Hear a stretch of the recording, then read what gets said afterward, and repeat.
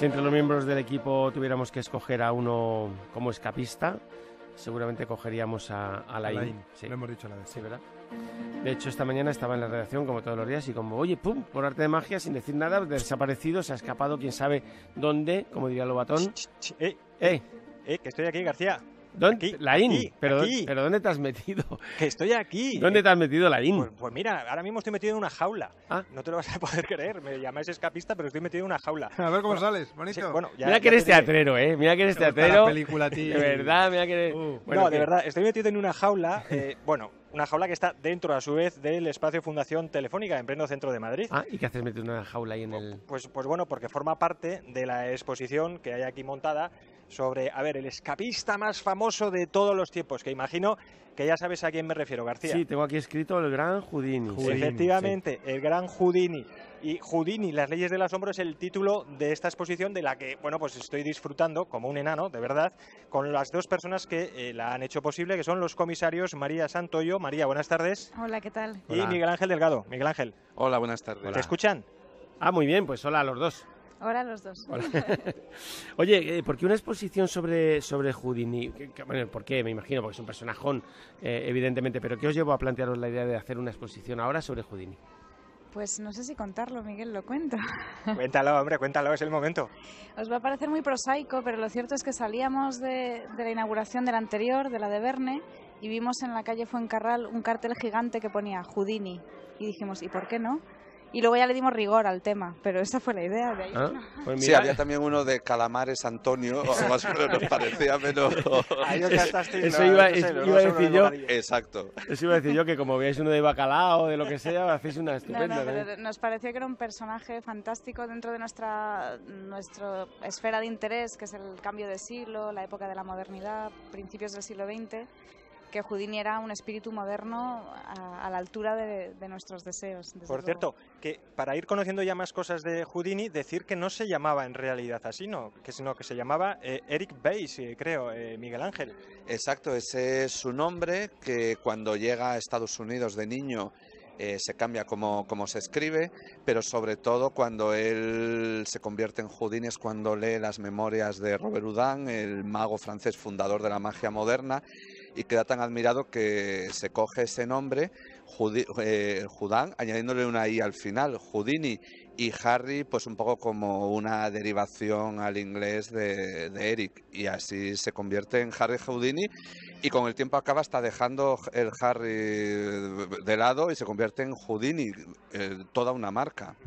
Yo creo que mm, de Houdini el número más conocido es quizás ese en el que se eh, quedaba dentro de una camisa de fuerza eh, y escapaba de ella, mm, bueno, con las dificultades que podía tener, pero escapaba de ella y esta jaula en la que me encuentro, porque es la pieza central de la exposición, una gigantesca jaula, tiene en su interior le habéis llamado un facsímil, ¿no? De, de esa camisa de fuerza que realmente parece sacada de una sala de torturas de la Inquisición española, pero que sí que se asemeja mucho a las que vemos en, en los vídeos donde aparece Houdini escapando de ella. Sí, bueno, es una réplica exacta en realidad. Es, una camisa exactamente igual que la que él utilizaba en sus escapes, que como bien dices era un escape muy espectacular porque no solo se libraba de la camisa de fuerza, sino que lo hacía suspendido boca abajo desde lo alto de un edificio en Nueva York, en Boston, que generalmente además era la sede de un periódico para que los periodistas pudiesen inmortalizarlo.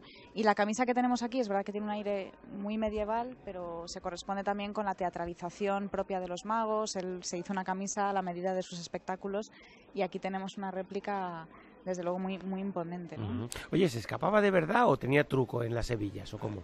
No, no, se escapaba de verdad. Y además, eh, en este escape particular, el de la camisa de fuerza, no había truco posible. O sea, eso era fuerza física, una pericia, incluso llegaba a dislocarse los hombros para poder escaparse de ella, y boca abajo, o sea, con la sangre llegándole a la cabeza desde lo alto de un edificio, era un, era un escape realmente espectacular. Miguel Ángel, creo que, bueno, sabemos que no solo escapaba de camisas de fuerza, sino que escapaba también de esposas, de grilletes, de todo lo que le pusieran, y que eso incluso preocupaba a las autoridades eh, norteamericanas. Un tío que es capaz de escaparse de, de- de cualquier sistema de retención de una persona. Eh, Eso, bueno, evidentemente a la policía no le debería de agradar mucho. No, de hecho hay una anécdota que él al principio de su carrera, él tarda en tener éxito y de hecho hay un momento dado que piensa que no va a triunfar así que decide poner a la venta todos sus aparatos y todos sus trucos y hace pues un manual de instrucciones, un folleto para acompañar a todos los aparatos donde explica cómo se hace todo, entre otras cosas, reventar todas las cerraduras y la policía se pone de los nervios e interviene para que no se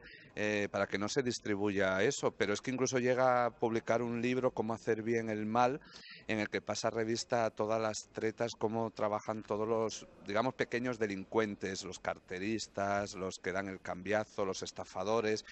Eh, es muy yo creo que es una de las cosas que les hace que le hace fascinante. Es un héroe pero también tiene un poco de villano. Podría haber sido un enorme villano de, de cómic, Houdini, si se hubiese ido al lado oscuro. Sí, sí, tiene una mirada un poco torva, de hecho, en muchas de las eh, fotografías. Eh, yo imagino que Houdini tenía que estar en muy buena forma para hacer todos estos números de escapismo, aunque al principio no empezó con el escapismo, sino que empezó con trucos de magia más, eh, más comunes y que se ven al principio de la exposición. Y digo que debía de estar muy en forma porque también esta exposición trae algunos de los aparatos de gimnasio de la época con los que Houdini podría haber eh, eh, pues, entrenado. Entrenado, efectivamente. Eso sí, no son de allí, de Estados Unidos, sino que los han traído de un sitio que además conocemos, María. Sí, bueno, es que sí. efectivamente Houdini era ante todo un atleta, tenía una condición física inmejorable y en eso basaba el escapismo, que es una disciplina que inventó él. Es decir, dentro de la magia es una disciplina que está a medio camino entre el gran espectáculo, el circo, el contorsionismo, el ilusionismo y la creó él a su medida. Era un hombre deportista, entrenaba a diario, corría 16 kilómetros en Central Park, nadaba en el río. 16 kilómetros, Sierra. Mm.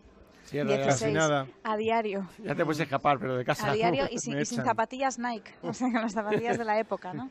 No, no, era, un tipo, era abstemio, no fumaba, se sumergía en agua fría para entrenar, entrenaba los dedos para aprender a escamotear, las ganzúas, lo que necesitaba. O sea, realmente era un, era un hombre atlético ante mm. todo. Y efectivamente, para, para hablar de de ese bueno de esa incorporación del deporte en la, en la, en la vida social a comienzos del siglo XX nos hemos traído piezas de un museo extraordinario que conocéis bien que es el museo del INEF eh, aparatos de gimnasio de uno de los primeros gimnasios civiles que se construyó en España. Se puede ver una bicicleta estática de la época un aparato muy extraño con unas manos o unas palmas de manos de madera eh, en, una especie de espaldera en fin eh, lo que vimos realmente en ese en ese museo en el que en el que también estuvimos.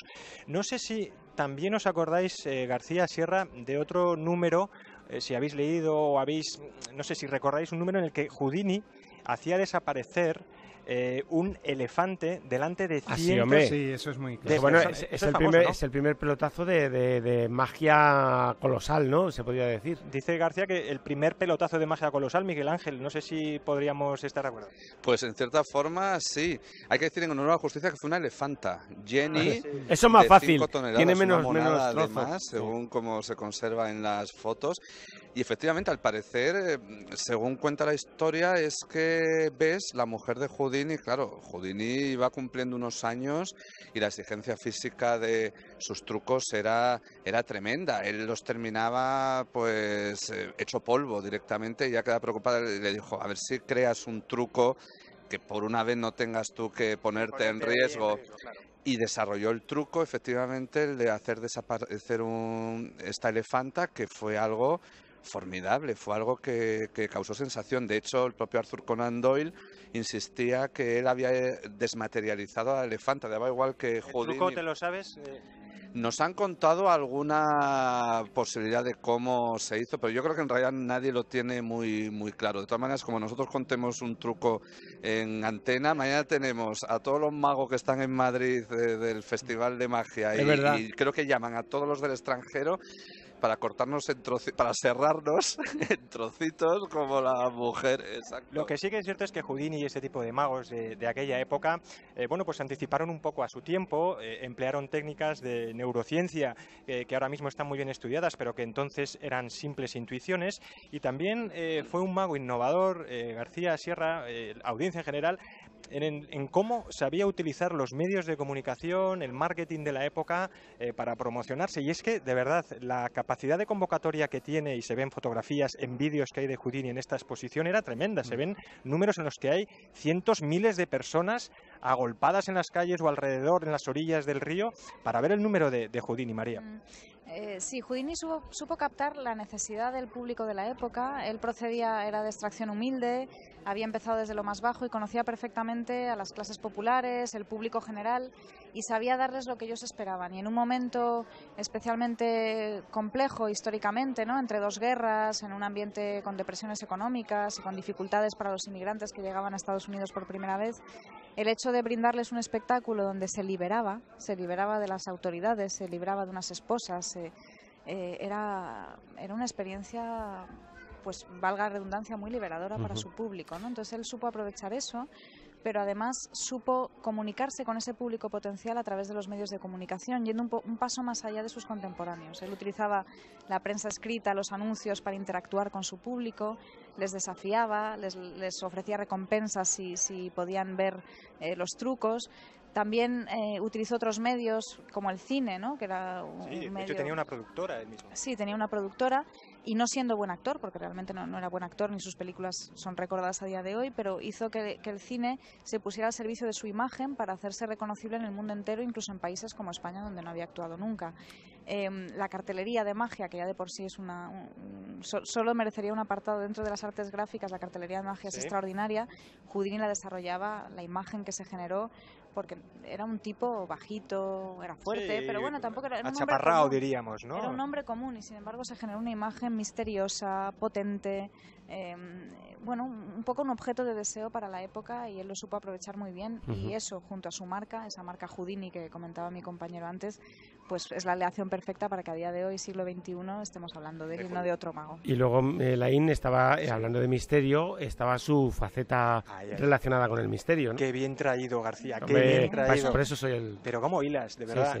Lo tenía en la punta de la lengua. Venga, suéltalo. Además es la última parte de la exposición eh, con la que vamos a terminar, evidentemente, y es que es verdad, eh, Houdini, bueno, tenía una relación ambivalente con, pues, con el ocultismo y todo este tipo de, cosas, porque sí que es verdad que eh, trató de desmontar muchos de esos mitos, de esas creencias y de esas prácticas, pero bueno, también eh, lo practicó de, algún modo, Miguel Ángel. Sí, nosotros le comparamos con el agente Malder de Expediente X, que tenía el póster de I Want to Believe, pues así era Houdini. Houdini quería creer en el, en el más allá y de hecho eh, él estaba convencido de que existía un más allá, pero eso lo que le hacía era eh, cabrearse doblemente con todos los mediums que se aprovechaban de la gente, porque consideraba que lo que hacían era un ruido enorme, que así era imposible contactar de verdad con, con el más allá pero él sobre todo fue porque mm, él estaba muy unido a su madre y su madre murió cuando él, mientras él estaba de gira en Europa, con lo cual no la pudo acompañar en sus últimos momentos y estaba obsesionado con qué le habría dicho su madre si hubiera tenido la oportunidad. Y entonces cuando vio que cuando intentaba contactar se daba cuenta de lo que le hacían eran trucos de feria. En que, él conocía muy bien. Exacto, eh, que él podía reproducir y de hecho es lo que hizo fue cuando inició una cruzada que uno de sus momentos eh, culminantes fue la rivalidad con Arthur Conan Doyle, que por eran muy amigos y terminaron siendo pues, enemigos. Exacto. Sí, es curioso porque Arthur Conan Doyle, el padre de Sherlock Holmes, el detective racional por definición que siempre excluye a lo sobrenatural, en la vida real se creía absolutamente todo. es verdad que, perdió a gran parte de su familia, no sé cuántos hijos y a su mujer, y bueno, eso también quizás le llevaba a buscar ese tipo de, experiencias, ¿no? extrasensoriales, podríamos decir. Sí, era una época alemana en la que había mucha sensibilidad precisamente por eso, y con la Primera Guerra Mundial más, y que además incluso había muchos científicos despistados que claro, aparecen los rayos X, aparecen todos estos descubrimientos que parecen más fantasmales que otra cosa y piensan que los espíritus no son más que una forma de energía distinta. Bueno, pues chicos, a mí solo me queda escaparme de la jaula para seguir viendo la exposición. Espero que no me pongan la camisa de fuerza, ¿vale? Pues yo espero que no. Yo espero que... que si te la ponen tampoco pasa nada. Que no pasa nada. Mañana puedo ir con ella. No sé, igual caudo, Si te dejan salir con ella, pues... Haz lo que quieras, Laín. Oye, una cosita, nada, muy rápido. Hasta el 28 de mayo, aquí en el espacio Fundación Telefónica, entrada gratuita, ¿vale? A esta exposición de Houdini. Ah, qué bien. Entonces vamos de gorra, vamos, sí. Como siempre en el espacio Telefónica, siempre es así. Muy bien. Bueno, María y Miguel Ángel, gracias. Gracias a vosotros, gracias. Gracias, a los dos. Hasta luego, Laín. Hasta ahora. Adiós. Ese código secreto iba a ser para que en el momento